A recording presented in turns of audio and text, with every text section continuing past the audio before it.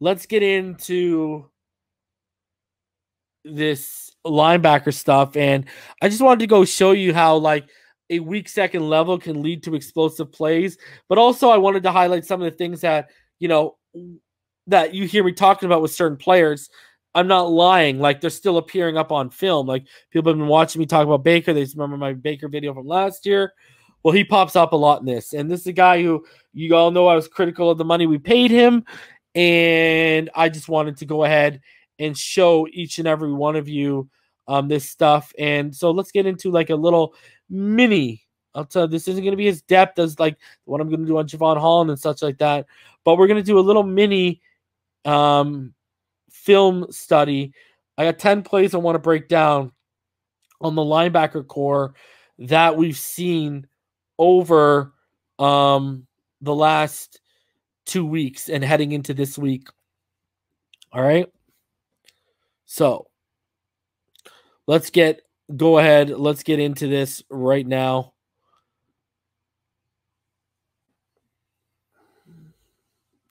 All right. So let me just starting off here. You can see Dolphins are currently showing initially cover two. And um, this is just the opening play of the season and the, the first play um, that the Patriots run on us. Um, so what you see right now is the two guys in the middle there is um, Elandon Roberts is your Mike towards the strong, strong side, and right now um, Baker's your Will. He's towards the weak side right there. He's on the right in the middle. And we just gonna we're gonna watch it through here. And what you can see is Andrews, the center, he's gonna snap the ball. He's gonna get to the second level. He's gonna engage Baker right there. See him engage Baker while um Shaq Lawson, the right guard, is who's currently engaging Landon Roberts right there. And both guys just get displaced, create, and that creates the huge lane right there for Damien Harris. Look at that, gone. And Damien Harris, both your both your guys in the middle got washed out completely on that play. You're gonna see it better here. So they'd run their motion, checking to see if we're in man or zone. We're still showing zone. They get the handoff. Now look at look at that hole right there. Okay, Landon Roberts is engaged on the right side here with um Shaq Mason. And it's just uh, Baker just totally washed out by 69 right there. Like, you know, brought down to his knees basically. And there's a big play. They're just not good against the run. But you know, what's this? Sh- what does this show you again? You know, once he can't play in traffic and he can't get off his blocks. It's just not his strength, right? So watch Baker here again. Let's watch it. Look at Andrews gets to the second level, washes him out. Sorry, I said 69 earlier. It's Andrews 60, washed out Baker right there. Um, and then yeah, look at Elandon Roberts totally taken out by Shaq Mason and it's too late.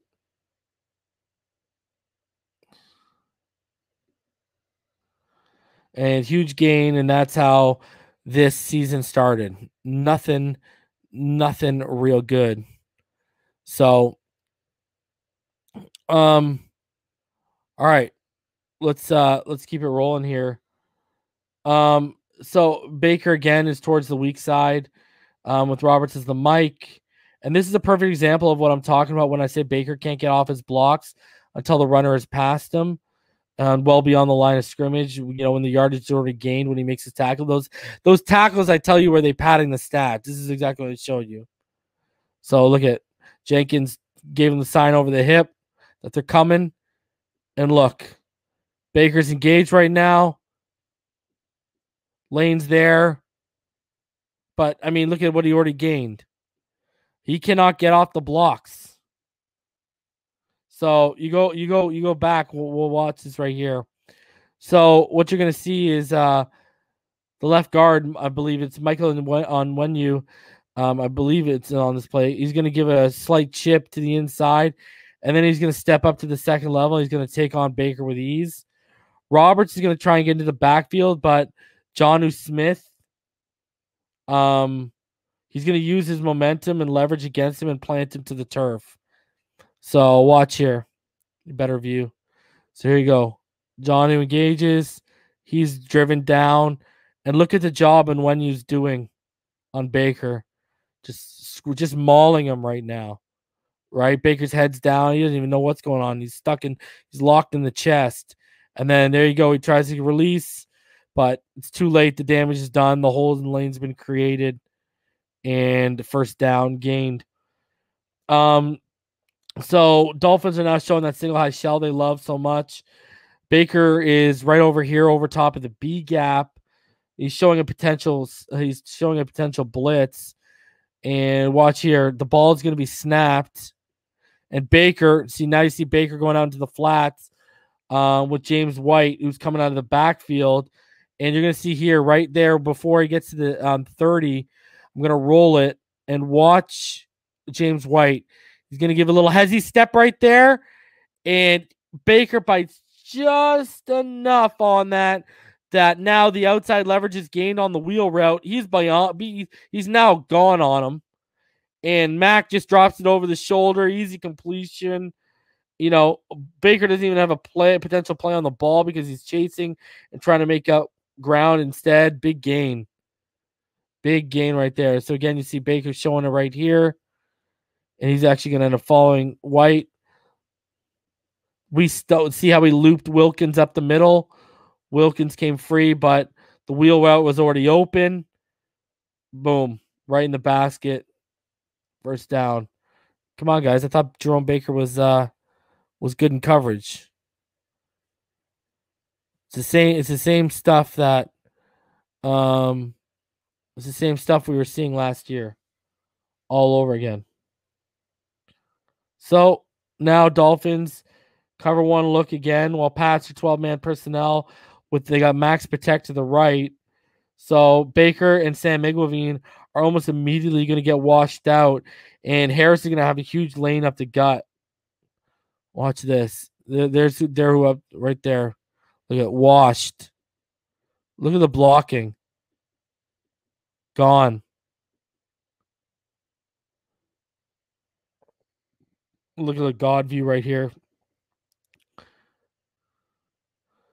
So now they got, you know, they got Baker and Sam Eguavoen working the middle on this one. No Elandon Roberts shucks. So Baker, he's going to engage. He's going to step up and engage. He's brought down to his knees right there. And what do if you go back, look at 49, what 49 is going to do here is he's going to bite on the handoff. He's going to over pursue just a little too too much to the left so when that cutback comes, he look at he's walked himself into traffic. And now he's got to try and disengage, but it's too late. And first down by James White. All right, again, this is a cover one zone look right here. Um and it's a cover one. They drop in the zone.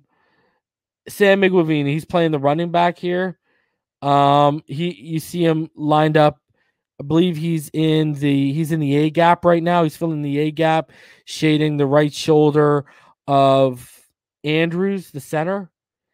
And what he's gonna do is he's gonna drop back into coverage, but watch. He runs in, he pushes off Jenkins, right? He runs into Jenkins, bumps him a little bit. And if you see right now, if you look at the 30 to the right, Kendrick Bourne he's on a drag route and he's starting to break on his drag route to come across. And Sam Eguavoen flips his hips and starts his back pedal, and he's just gonna overdrop on his buck drop. He overdrops way too far back, almost to the 40, gives up that everything in front of him.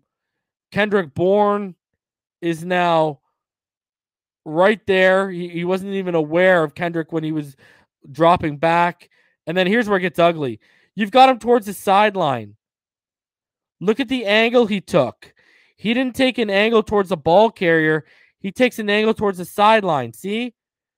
And what happens is he gets washed out with a cutback and he gets made to look foolish. Bad angle, man. Bad open field angle by Sam Eguavoen. And now he makes a couple other defenders look foolish and gets up. So instead of getting knocked out back at let's go back here. Instead of getting knocked out at around the 49, the 39, he gets it all the way up to about the 46. So six extra yards because he took a bad angle. Now, there was an illegal blindside hit on that play, but, you know, it was still a terrible play. You're going to see it here again. Drops back after running in and he just he didn't notice him like he overdropped because he didn't notice him coming from his left side and that's why he just that's the spatial awareness defensive awareness and then he over pursues on a bad angle and he's hung out to dry and sam Eguavoen looks looks like crap on that all right now let's go to the bills game just like the week before the run defense exposed almost immediately on the opponent's opening drive here Baker, you see Baker right here? Um, Baker is standing at the um, 47 yard line right here. And what he's going to do is he's going to get caught flat footed. And he actually isn't going to break on the ball carrier until the ball carrier, cra- uh, who's Devin Singletary, crosses the line of scrimmage. Now, what you have also here in the box sitting at the 40 is McCourty's out here too. They're bringing Brandon Jones in uh, as that hybrid linebacker safety right now, that extra DB right now, while playing him in the box. Um, and if you look at the left guard for the Bills, he's going to get to the second level. Just give an initial pop to Brandon Jones. He's going to cause Jones to lose balance and be taken out of the play. And the, the second level is compromised instantly by a slow read and recognition and reaction by Baker and Brandon Jones just not having the prerequisite strength at the second level when a guard comes there. So look at look at Baker's flat-footed right now. He's just watching, right? Baker now has started to break and Devin Singletary is almost about a yard and a half past the line of scrimmage. You see right there at about the 42 yard line. The pop on Brandon Jones. His back is now towards the play. He's out of it. And there you go. Just like lightning, Devin Singletary is up the seam and down the left sideline for a touchdown. So, this is when I talk about Baker doesn't have great read and recognition skills.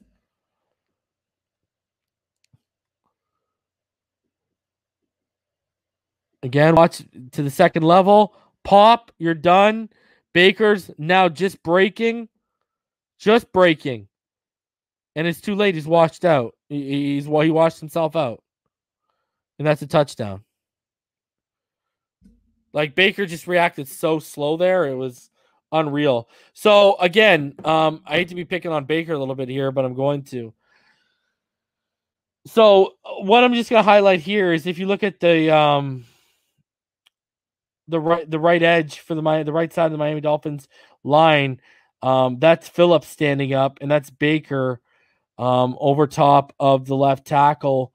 Um, and I just want to show you again Baker having problems getting off blocks, but watch Jaelan Phillips get off that block. He works harder to get off the block. Watch. Okay, so the give right there. Look at he's already off his block. Baker can't get off of it. Baker just gets pushed back and driven into his man. So y'all been wondering where Phillips is. Look at Phillips. He's able to look at fights, hand fighting, gets off of it, makes the tackle. Baker just falls back in the man, but the damage is already done. Can't set the edge, boys. Can't set the edge.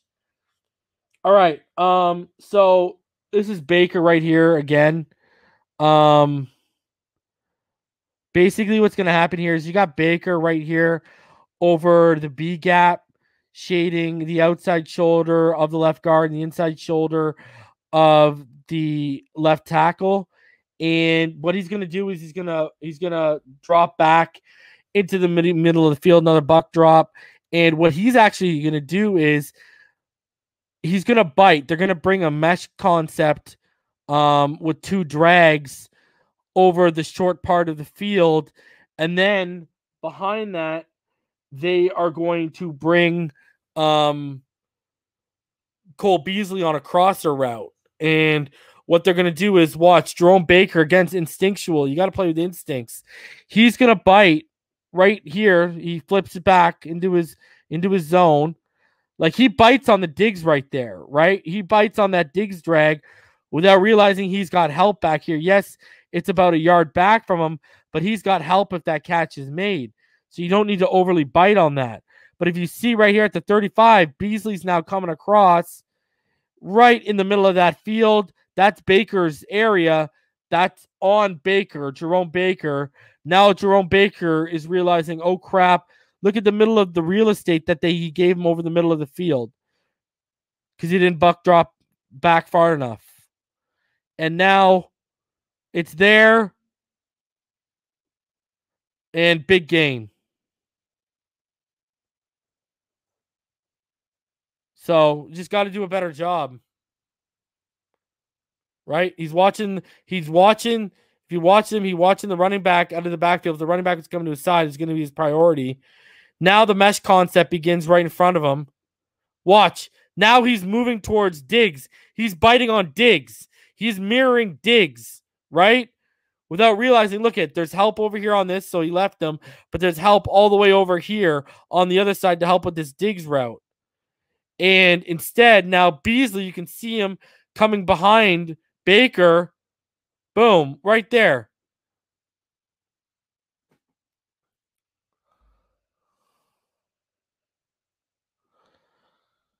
Um, all right, so this is just a piss poor tackling effort by Jerome Baker. Um, he's gonna be um on the bottom of your screen right now. Um, and I want you to watch the effort he gives on the ball carrier. This is just about this is an effort play for me. He gets free. Look at the one time Jerome Baker sheds a tackler. Look at this. And that's the effort you get tackling. He goes high and he can't get a hold of the shoulders and it's over with. One more time. Look at Jerome because it's a tight end. Gets off the block right here and it's kicked out. Look at he's right there. He's ready. Goes, look at that. Didn't even wrap him. Didn't even wrap him. Didn't even attempt to. Just goes high on the chest. And now it's kicked out. McCourty goes low. Like just a piss poor effort. Uh, and then finally, Elandon Roberts. Now, this actually made me mad because Jevon Holland did this earlier on a seven yard run by Zach Moss.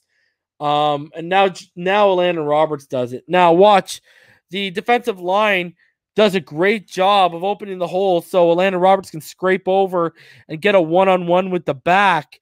But watch what he does. Okay, holes open, right? Look at that. And now you see him pursuing at the top of the A. Elandon Roberts goes for the big hit. Elandon Roberts goes to pop him to send an echo through the stadium instead of wrapping him, and it's a touchdown. Like tackling fundamentals here. Like B- Bernard McKinney is wrapping that runner up, and he's getting stuffed. Look at you got a one. That is tunnel of love right there. You got a one on one you're on downhill, full momentum. And what does he do? I want the hit. Moss just lowered his shoulder, prepared for the hit, and he bounced off him into the end zone. Like you need a better effort there. That is a bad effort.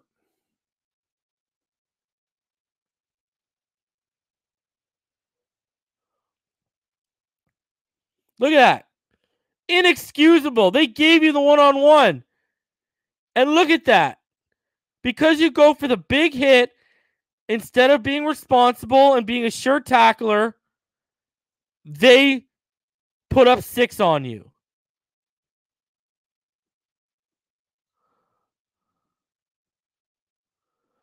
Poor.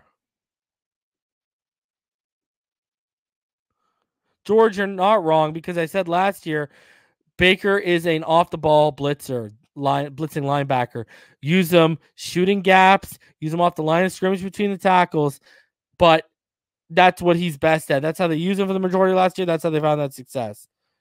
Anyways, look at this. That is Baker's washed out. I mean, like, look, we see Baker being washed out all the way back to the middle of the end zone. He's the furthest pushed back defender. That is your bread and butter, Landon Roberts. You are supposed to make that stop.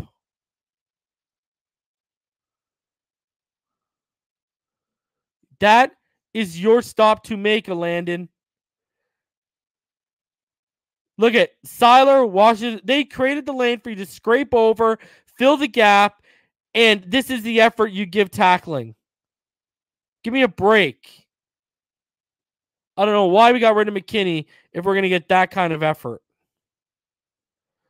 So, guys, yeah, that's, uh, you know, a lot of poor stuff. And, you know, we explained some of the big plays that happened was because of the second level. I mean, we just need better stuff. And that was just to show you, man, th- I don't know who this team thought they were affording, uh, you know, thinking they could afford getting rid of a talent like McKinney. Baker, for all the money he got paid, look at all the lapses we've seen in the first two weeks. So he's been exposed a little bit again. So, you know, for, for having too much responsibility in his defense. So we just need better play on that. That second level right now is one of our, it is the Achilles heel of our defense. We just need better effort. We need better stuff up there um, from that def- that second level, man.